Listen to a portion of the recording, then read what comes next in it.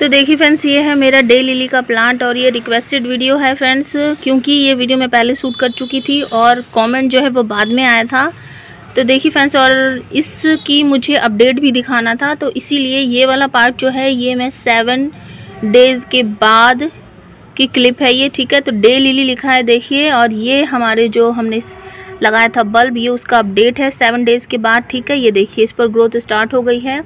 तो मैंने इसको बिल्कुल छः दिन के लिए सेड में रखा था और अभी यहाँ पर देखिए ओपन एरिया है बिल्कुल टेरस है धूप आई हुई है। इस टाइम सुबह के मॉर्निंग के एलेवन बजे हुए हैं। तो वीडियो अच्छा लगा हो तो लाइक शेयर कमेंट ज़रूर कर देना। फ्रेंड्स आपको ये वाला वीडियो अच्छा लगा हो तो ज़रूर किसी और टॉपिक पर अगर आप, आपको देखना हो कोई भी वीडियो किसी भी टाइप का किसी भी टॉपिक का तो कमेंट ज़रूर कीजिएगा। तो मैं आपकी रिक्वेस्ट पूरी करने की पूरी कोशिश करूँगी। तो मिलते हैं नेक्स्ट वीडियो में। हेलो फ्रेंड्स, आप देख रहे हैं सिटी के टिवाडिया चैनल। तो देखिए फ्रेंड्स, आपके सामने है हमारे डे लिली के बल्ब। देखिए अभी जो साकेत इवेंट हुआ था, उसमें मैंने आपको दिखाया था डे लिली के बल्ब, और ये मैंने वहाँ से परचेजिंग की है। इसका वीडियो भी है। मैं डिस्क्रिप्सन में लिंक डाल दूँगी कि मैंने कौन कौन से बल्ब या क्या क्या सामान मैंने उस दिन परचेज़ किया था। तो देखिए, ये दो बल्ब हैं। ज़्यादा महँगे नहीं मिलते हैं। आप ऑनलाइन परचेज़ करोगे तो बहुत ज़्यादा महँगे मिलते हैं।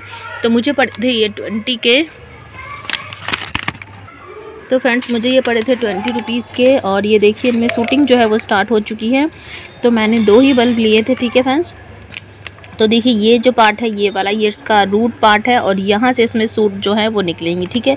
तो ये वाला पोर्शन हमें मिट्टी के अंदर रखना है और ये ऊपर रखना है। ये जितने भी बल्ब वाले प्लांट हैं फ्रेंड्स, इनके लिए आपको मिट्टी बिल्कुल ऐसी वेल ड्रेन बनानी है मतलब कि ऐसी मिट्टी के पानी डालते ही फटाफट वो सारा का सारा पानी नीचे से निकल जाए, ठीक है फ्रेंड्स क्योंकि ये बल्ब होते हैं और इनकी लीव्स वगैरह जो होती हैं और जो इनका आप देख ही सकते हो रूट में। रूट में भी काफ़ी वाटर इनका स्टोर रहता है, जिसकी वजह से इनको ज़्यादा वाटर की ज़रूरत नहीं पड़ती है तो इसके लिए मिट्टी जब आप तैयार करोगे, आप उसमें रखना 50 परसेंट मिट्टी 30 परसेंट रिवर सैंड ज़रूर ऐड करना 30 से 40 परसेंट आप रख सकते हो और उसके बाद बाकी से जो बचा वो हमारा रखना खाद, कोई भी खाद बर्मी कंपोस्ट कंपोस्ट गोबर की खाद आप इसमें देखिए फ्रेंड्स जितने भी जितने भी बल्ब होते हैं, आप उसमें भूल कर भी कोकोपीट मत मिलाना, क्योंकि कोकोपीट जो होता है उसमें वाटर स्टोर करके रखता है। अपने अंदर आप सबको पता ही है तो कोकोपीट बिल्कुल मत मिलाना। ठीक है फ्रेंड्स तो ऐसी मिट्टी बनाइए जिसमें वाटर बिल्कुल आराम से बाहर निकल जाए स्टोर होकर बिल्कुल भी ना रहे। ठीक है फ्रेंड्स तो देखिए ये सारे बल्ब जो हैं, अभी तो मैं रेन लिली लगा रही हूँ।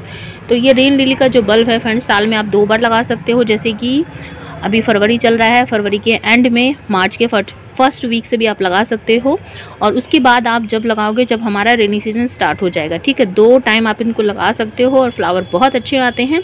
तो मैं भी इनको फ़र्स्ट टाइम ग्रो करके देख रही हूँ। तो आ, मैं आशा करती हूँ कि मेरे बल्ब जो हैं वो ग्रोथ पे आ जाएँगे बहुत जल्दी और बहुत अच्छी फ्लावरिंग करेंगे। तो देखिए फ़र्स्ट बार है इसीलिए फ़र्स्ट ही मैं बल्ब लगाऊँगी और दूसरा बाद में लगाएँगे ठीक है फ्रेंड्स तो देखिए फ्रेंड्स ये है मेरा प्लास्टिक का पॉट। आप सबको पता ही है कि मैं टेरेस पर गार्डनिंग करती हूँ तो मैं ज़्यादा छत पे लोड नहीं डाल सकती। उसकी वजह से मैं प्लास्टिक के ही अधिकतर पॉट यूज़ करती हूँ। सीमेंट या मिट्टी का पॉट भी आप यूज़ करते हो, कर सकते हो जो आपको बेस्ट लगे, ठीक है? तो नीचे बहुत सारे होल बने हुए हैं और इसमें हमारे लगे थे विंटर के कुछ प्लांट, वो मैंने हटा दिए हैं क्योंकि अब उनका सीज़न जा चुका है और मिट्टी का जो रेशियो मैंने आपको बताया है, वही बनाई है। इसमें मैंने मिलाया है थोड़ा सा फंगी पाउडर, हल्दी, काली मिर्च और उसके बाद उसके बाद हमने क्या मिलाया? नीम की खली, सरसों की खली, ठीक है? ये सब कुछ मिलाकर हमने अपनी मिट्टी रेडी कर ली है, ठीक है फ्रेंड्स तो ये देखिए फ्रेंड्स मैंने अपना पॉट जो है वो भर लिया है, अच्छे से आपको दिख रहा होगा। और फ्रेंड्स जिस टाइम मैं ये बल्ब लगा रही हूँ, शाम के सात बज चुके हैं, ठीक है? तो आप इनको शाम के टाइम लगाओ या किसी भी टाइम लगाओ, उससे कोई फ़र्क नहीं पड़ता है बट मुझे टाइम इस टाइम ही मिला है तो इसीलिए मैं आज इस टाइम ही लगा रही हूँ। तो देखिए, आपने देख लिया होगा, मैंने बीच में होल बना दिया है सेंटर में, और देखिए, मैं सिर्फ़ एक ही लगाऊँगी इसमें, ठीक है? तो ये देखिए, जैसे कि मैंने वीडियो के शुरुआत में ही आपको बताया रूट वाला पोर्शन हम नीचे कर देंगे, और सूटिंग वाला पोर्शन जो है वो हमें ऊपर रखना है। तो देखिए, आपको कुछ इस तरह से इसको लगाना है, ज़्यादा आपको इसको मिट्टी के अंदर नहीं दबाना है रूट वाला हिस्सा ही सिर्फ़ मिट्टी के नीचे होना चाहिए, ठीक है फ्रेंड्स तो जैसा कि मैंने बताया वाटर की रिक्वायरमेंट इसकी कम है तो आपको वाटरिंग इसमें कम करनी है, और अभी जब तक इस पर हमें ग्रोथ स्टार्ट होती हुई नहीं दिखेगी, तब तक हम इसको सेडी एरिया में रखेंगे। वैसे ये परमानेंट प्लांट तो मैं नहीं बोलूँगी बट समर का प्लांट है तो धूप अच्छी चाहिए इसको।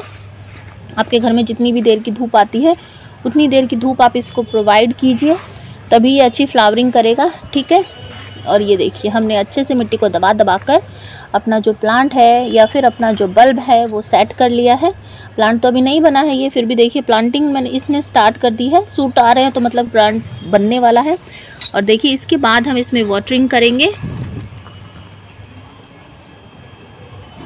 तो देखिए फ्रेंड्स फ़र्स्ट बार जब भी आपको वाटरिंग करनी हो तो आपको अच्छे से करना है भर कर करना है, ठीक है? क्योंकि मिट्टी जो है, हमारी सारी की सारी सूखी पड़ी है तो जब आप उसको गीला करोगे, तभी तो हमारा जो हमने बल्ब लगाया है, उसमें वाटर जाएगा और वो अपनी जो ग्रोथ है, उसको स्टार्ट करेगा, ठीक है फ्रेंड्स तो देखिए, बिल्कुल सेडी एरिया में रख दूँगी मैं इसको। जैसे ही इस पर ग्रोथ स्टार्ट होगी तो मैं इसमें डालूँगी थोड़ा सा खाद, वर्मी कंपोस्ट कंपोस्ट गोबर की खाद, पत्तियों की खाद, जिसके पास जो हो, वो डाल देना। जैसे ही इस पर ग्रोथ स्टार्ट होगी, ज़रूर हम डालेंगे और लिक्विड फर्टिलाइज़र जिसे बोलते हैं ना, उसका हम ज़्यादा ध्यान देंगे। लिक्विड फर्टिलाइज़र बिल्कुल टॉनिक की तरह काम करता है फ्रेंड्स तो आपको ये ध्यान रखना चाहिए कि अगर प्लांट की ग्रोथ आपको अच्छी चाहिए तो आप उसमें लिक्विड फर्टिलाइज़र डालिए। तो बहुत सारे लिक्विड फर्टिलाइज़र है मेरे चैनल पर, आप जाकर देख सकते हो। सरसों की खली, नीम की खली एलोवेरा एप्सम सॉल्ट या फिर मैं कहूँ कि हल्दी का, नीम की पत्तियों का, प्याज की पत्तियों का, प्याज के जो छिलके होते हैं एग सेल का बहुत सारे लिक्विड फर्टिलाइज़र है चैनल पर जाइए, देखिए और फुल इन्फॉर्मेशन आने वाले वीडियो में मैं इसकी शेयर करूँगी, क्योंकि अभी तो हम सिर्फ़ बल्ब लगा रहे हैं। ठीक है फ्रेंड्स